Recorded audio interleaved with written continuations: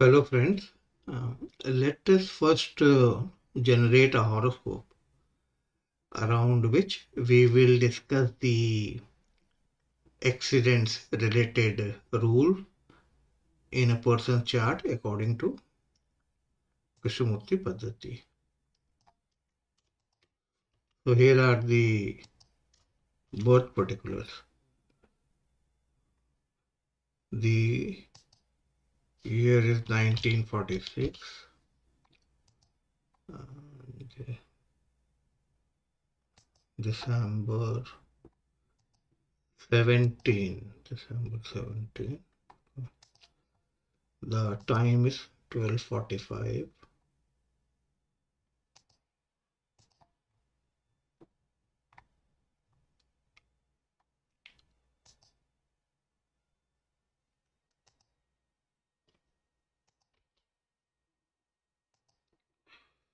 And the place is Anand in Gujarat.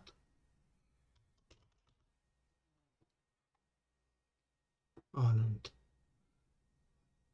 I realize when uh, you are uh, selecting a city, then you have to click twice over here, then it gets selected. So 1946 December 17th, 12.45 p.m. Place is Anand. And the rest of the settings I have left as default. The and the only uh, couple of settings where I need your attention. One is the the Rahu and Ketu calculation. That's a that's a mean calculation. And second is the nodes signify its Rashi Lord only. I have discussed about these settings uh, in one of my videos. I think uh, the the initial one uh, where I introduced the Jyotish portal or I think also in the Amitabh Bachchan chart where I showed you that uh, by changing the setting how the planet signification table, especially the sublord of the nodes, uh, get changed. So this is the the horoscope of the person and uh, let us set up the the worksheet view or what I call as, as the KP canvas view where all uh, relevant information and even extended information is visible at one glance. So all the the charts, the the cusp chart, the Lagna chart, and the planet signification. Then there is some extended information where you might want to look for the sub the degree of the planet and the sub sublord and similarly the cusp significator table is there. And apart from that the the quick information for the cusp the the degree and the cusp sublord is also there. So this is a nice uh, kp uh, canvas view where uh, you you don't have to scroll back and forth and up and down looking for the related information. This view is going to help you set your focus and this has been thoughtfully designed to help increase your productivity. So now let's look at the KP rules.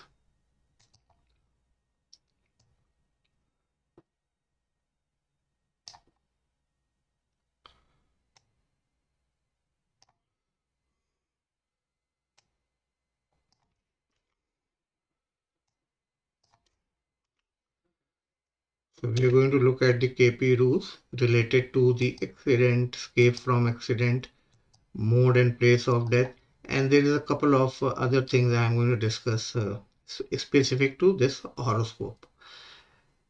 The primary houses that gets into focus when it comes to the accident uh, related uh, reading these are the the the first house which indicates the self or the body the eighth house which is the uh, for injury and accident and the 12th house that uh, uh, creates the need for the hospitalization. So when all these three houses are in focus and there is a, a bhavayuti, then the that particular dasha antar or pratyanta becomes uh, vulnerable to uh, accidents and all that. So the the the basic grouping is 1, 8 and 12. I have seen in some places where the fourth house is also uh, mentioned, but I couldn't find this uh, in the KP books. And I think one of the reason might be the because the fourth house is the house of uh, uh, vehicle also. So, and most of the time people relate accident with some kind of uh, accident while driving uh, a car or a, or a motorbike or some vehicle. But uh, there are a lot of other kind of accidents. It's not necessarily that uh, all accidents involve some kind of uh, uh, of a vehicle. You know, person gets drowned in the water, that's also an accident, or a per person falls from a height, that's also an accident. So uh, 1, 8 and 12, the combination covers all various kind of uh, uh, accidents and now let's extend and expand this combination so if you if you add the houses 2 and 7 why 2 and 7 because both of these houses are uh, the Marak house then the accident uh, becomes uh, of serious nature See, here we are not saying whether the accident is going to be fatal and uh, result in death or not. Uh, we are just trying to gauge the seriousness of the accident.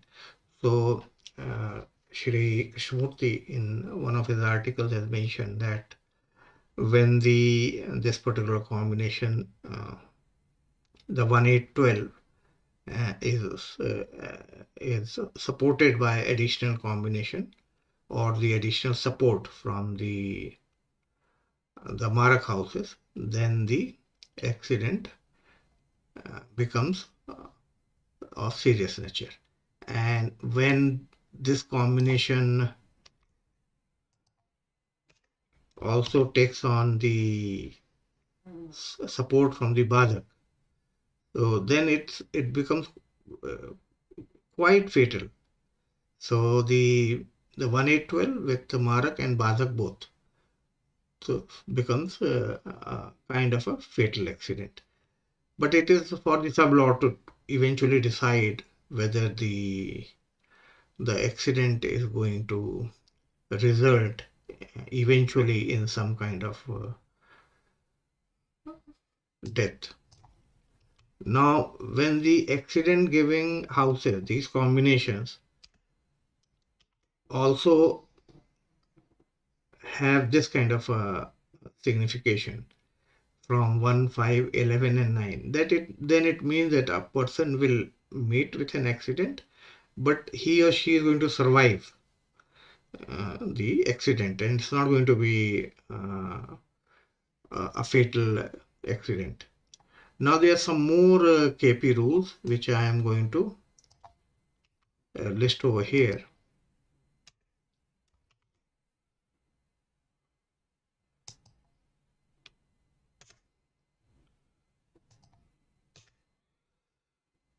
So 1, 4 and 10 shows that the end is in his or her own place.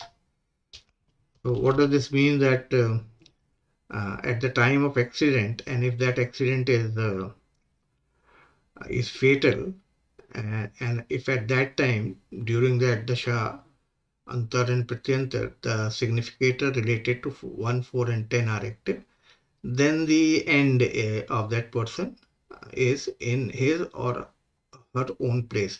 Now this combination is uh, is independent of the uh, accident as well. So usually when sometimes people ask that um, uh, about the mode of death, whether it's going to be a peaceful death, whether it's going to be a death far away from their home or uh, in their home or you know, those kind of questions are there. So this this particular rule is uh, about the mode of uh, death and the death could happen because of the accident or death could happen because of the natural reason. So but the KP rules are that 1, 4 and 10 shows the end in his or her own place. Then the 6, 8 or 12, 6, 8 or 12 indicate death in the jail or in the hospital or in an unknown place. Ninth house means death will happen during the long journey in a far off place. So these are all logical uh, consideration within the KP astrology. Additionally, I think uh, the one can make use of the the the element fire, air, fire, water, and earth to elaborate on the uh, the nature of accident and the is where it could be because of some uh, movement or because of uh, traveling in a in an airplane or in a vehicle. And then fire could be by fire accident by fire and water means the drowning. And earth is uh, other type of uh, natural uh, accident. So within the framework of the accident rule you can one can make rule one can make use of the uh, these elements and for the accident the malefics are Mars, Saturn, Rahu and, and Ketu.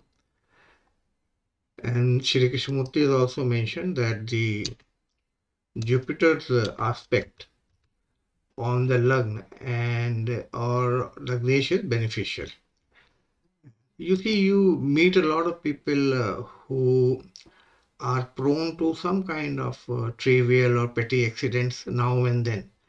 And you will you will have them sharing their stories that how they were caught into a bad situation uh, where uh, there could have been a great uh, body injury but they had a narrow escape or they had a divine escape. So uh, the probably these uh, kind of people, the horoscope of these kind of people, uh, where the Jupiter's aspect on the lung and the Lagnesh could be traced.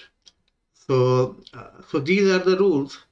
And generally in KP, it is easy to identify the the bad, Shah, Antar and Pratyanta uh, from the accident uh, point of view. You can uh, you can make a list of the bad periods according to the the core rule, the 1812. But the other details, like, uh, you know, the one that Shri Krishnamurti has mentioned about uh, the mode of death in a far off place or while traveling and those kind of things. And even the uh, the accident uh, because of some fire uh, disaster or by drowning and all these things. This uh, uh, this data is not much available uh, within the uh, KP framework. So this is a little bit challenging and uh, to pinpoint the other details related to the accident. And I think some more of collaborative effort is required to gather more data.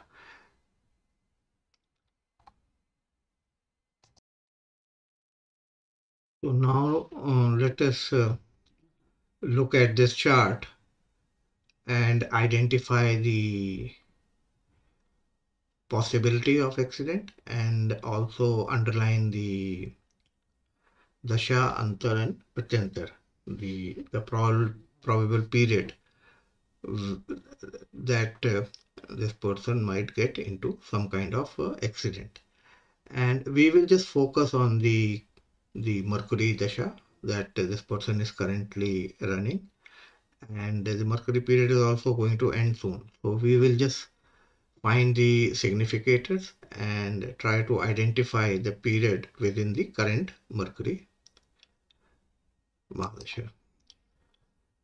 So let's first look at each of these planets. And uh, so Ketu, Ketu is okay, Ketu is not bad. And uh, see when you have these, uh, the, the fifth and the ninth uh, appearing at the sublord level or even at the star level, then these are good houses. They tend to uh, protect someone from uh,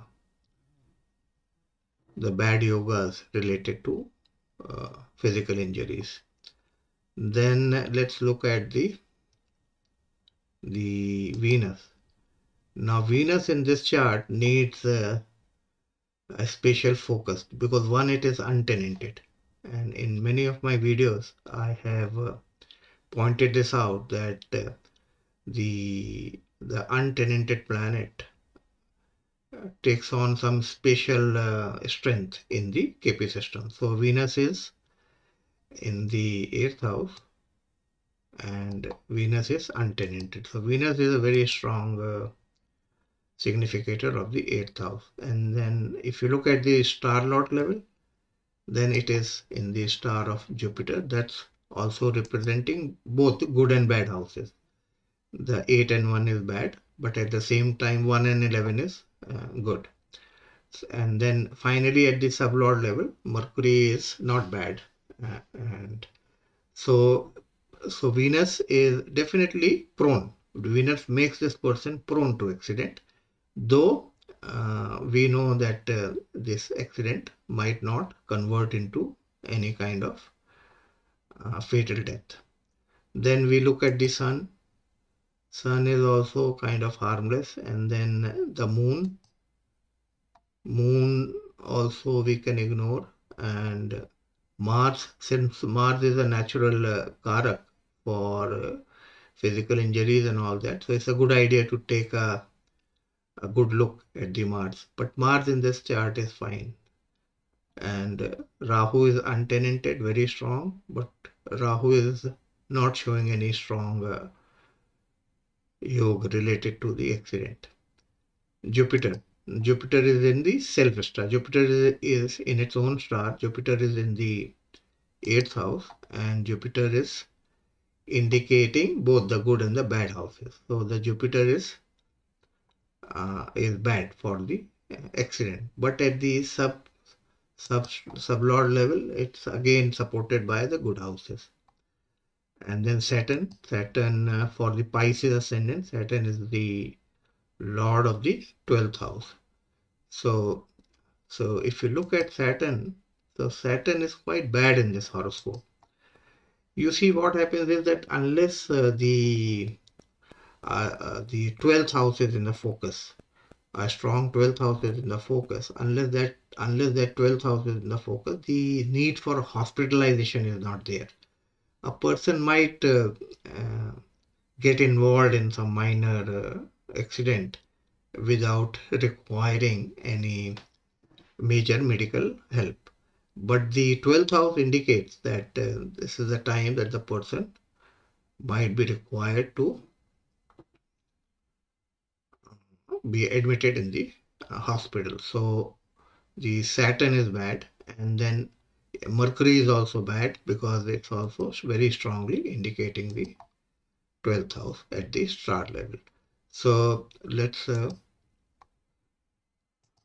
we found that uh, the the Venus, Jupiter, and then Saturn and Mercury. So these are the really bad period, and you'll you will note one thing that Venus and Jupiter, the natural benefic planets in this horoscope are all set to uh, create yoga for uh, some kind of an accident. So Sri Krishnamurti is uh, saying that no planet is good or bad. It uh, even benefic planet like the Venus and Jupiter are not always uh, benefic it depends on the specific aspect of life or a specific question that you are focusing on on on a particular horoscope. So in this horoscope from the uh, from the accident perspective these two planets have become uh, uh, very bad.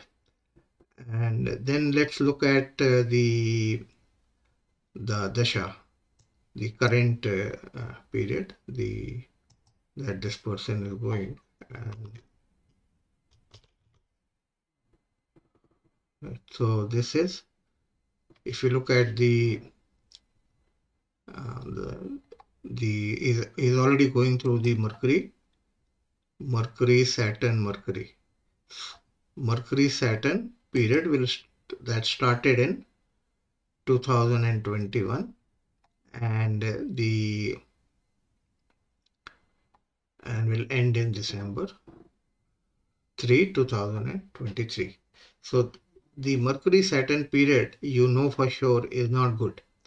Uh, and, and the because it's already indicating the 12th house both Mercury and Saturn both are indicating the 12th house and if you look at Saturn Saturn in, at the sub level is not good. It it is also indicating the uh, the first and the eighth house. Though it's all, all also indicating the first and the 11th house. So you know that if at all there is an accident and there should be one uh, because of this uh, the way these uh, planets are signifying the bad houses.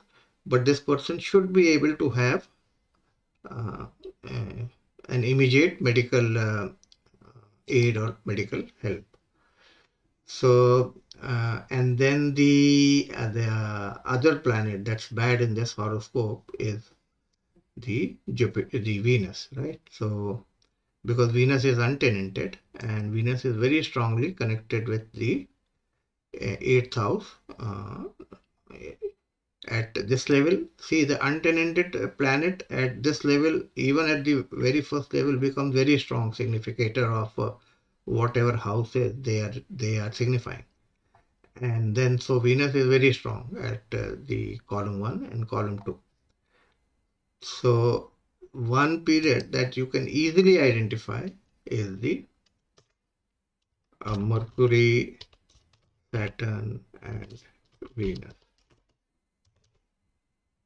Another period within Mercury Dasha that you can identify is Mercury, Venus and Saturn. So these at least these two periods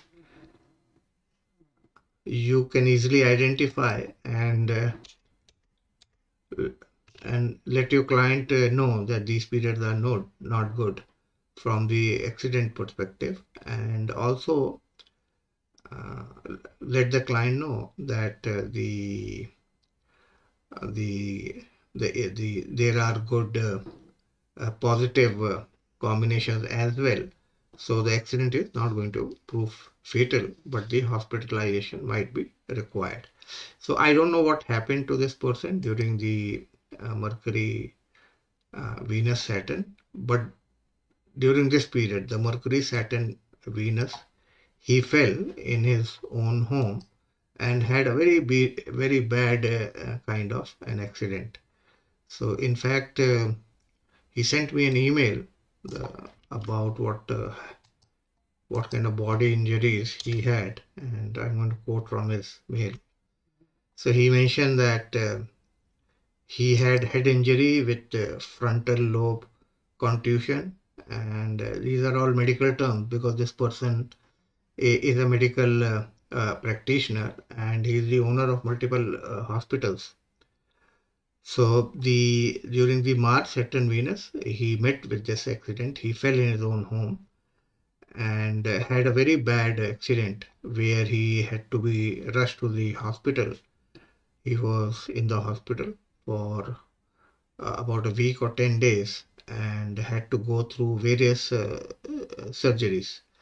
So now one of the things that if you look at the detailing of Mercury, Saturn, Venus, then you might think that uh, because the fourth house is in the picture, Venus is in the picture, Mercury represents the third house. So uh, it, it, then you might conclude that this person might meet uh, with some kind of a a vehicular accident, but this didn't happen. He, it was just uh, he fell in his own home. So that is what I was mentioning when I said that some of the detailing related to the nature of accident, how it is going to happen, those kind of stuff are not uh, uh, much data I could find uh, uh in the KP books and articles, and not many horoscopes are also given maybe somebody might have uh, done some research and collected some data. So if you are aware of that you you can share that link or some information in the in the comment section. Otherwise i feel that uh, the the collaborative effort to gather some more data will be very uh, helpful. So so now another question the, this uh, person asked me was about the the Ketu period after the accident. And this was a, a major accident. And so he wanted to know about the Ketu period. Because if you look at the Dasha then you find that in December 23 the Mercury period will end. And then he will have the Ketu Dasha uh, start. And that's going to end in December uh, 30 so by that time he will be already 83 years of age. So, uh, and he is very active uh, in his business. Like I mentioned that he is the owner of multiple uh, medical facilities. So now if you look at the, the, the Ketu in his horoscope, so you see the Ketu is indicating the the ninth house and the fifth house and again the ninth house and again the fifth house and again the ninth house.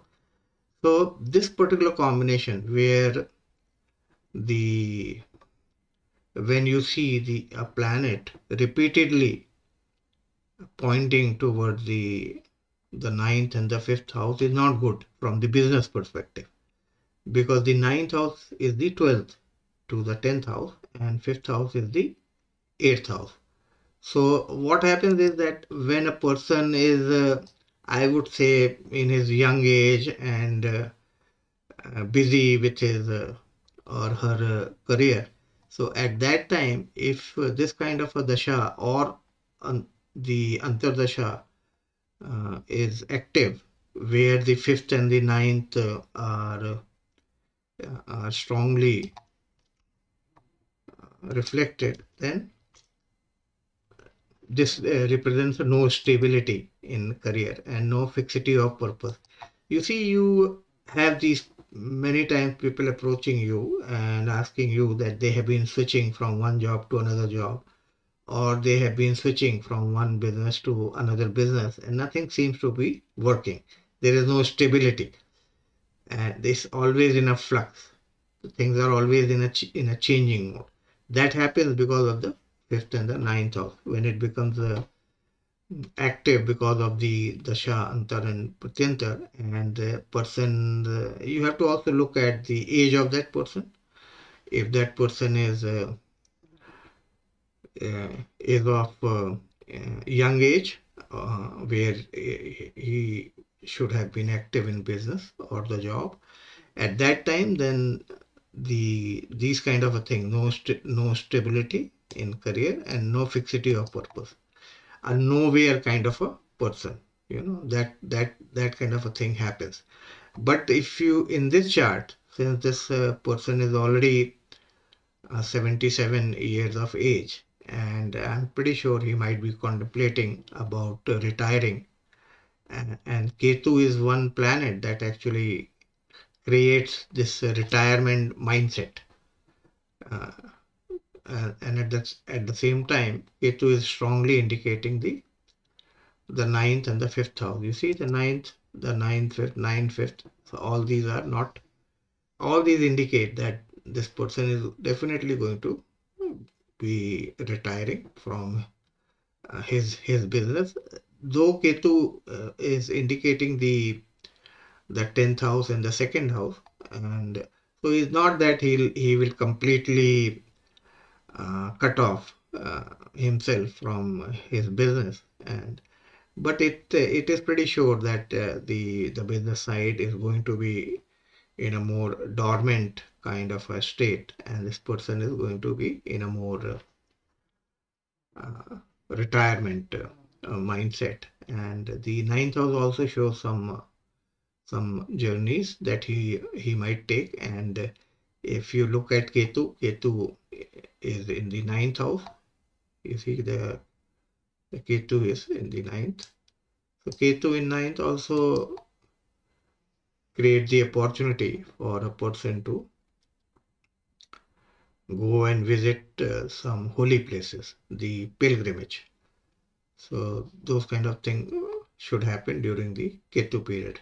Another thing that you should notice is that Ketu is in the star of uh, Mercury. And Mercury in this chart is the uh, Badak uh, because for the Pisces ascendant, these seventh house is the uh, Badakstan and Mercury is the ruler of the seventh house.